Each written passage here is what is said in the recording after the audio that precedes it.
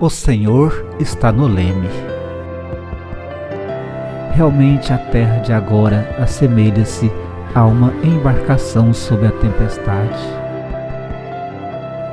Alteiam-se as ondas da violência, sopra o vendaval da discórdia, ameaçadoras nuvens pairam no horizonte. A tripulação se desarvora. Nada temamos, porém, de novo brilha o sol no firmamento.